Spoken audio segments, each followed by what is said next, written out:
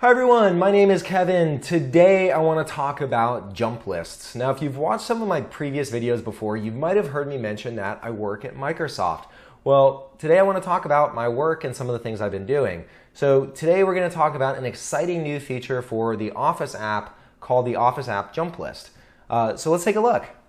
Here I am on my desktop, and if you've never heard the term jump list before, let me give a quick crash course on what that means. So what a jump list is, is here on my taskbar, I have all these different apps pinned.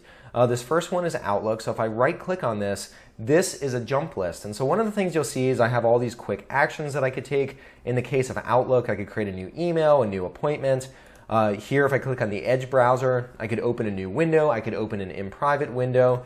Uh, if I click on Chrome, you know, here I get most visited websites, recently closed websites. I could also open an incognito window or just a new window.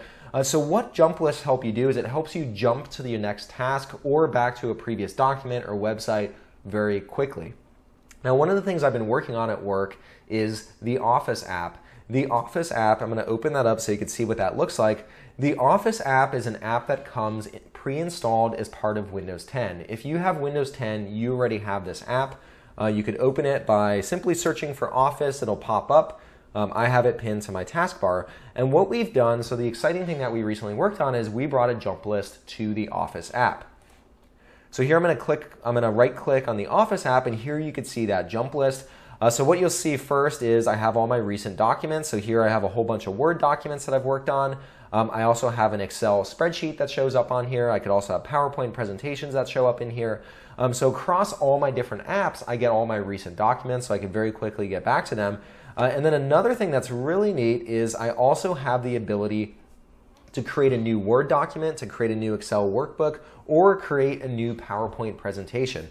And now the really neat thing about this is, so I'm going to go ahead and click on a new Word document.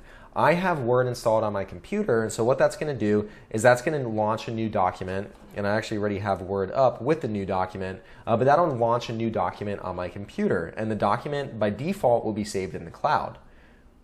So there's my new document. And if I don't have Office, and let's say I'm not subscribed to Office or I've never purchased Office before, what I can also do is if I go and right click on this and I click on New Word Document, that'll open up the web app where I'll be able to work on a Word document. So whether you have Office or whether you don't have Office, with the jump list now, you're now uh, two clicks away from creating a new Word document or Excel or PowerPoint, uh, and you could also get back to your content. Uh, this jump list, the interesting thing too is it's also cloud based, meaning that if you go onto a different machine using your account, um, if you go to office.com, if you go to Word Online, if you go to a different desktop with Word installed and you open a file, this jump list that you have associated with the Office app will reflect that because it's cloud based.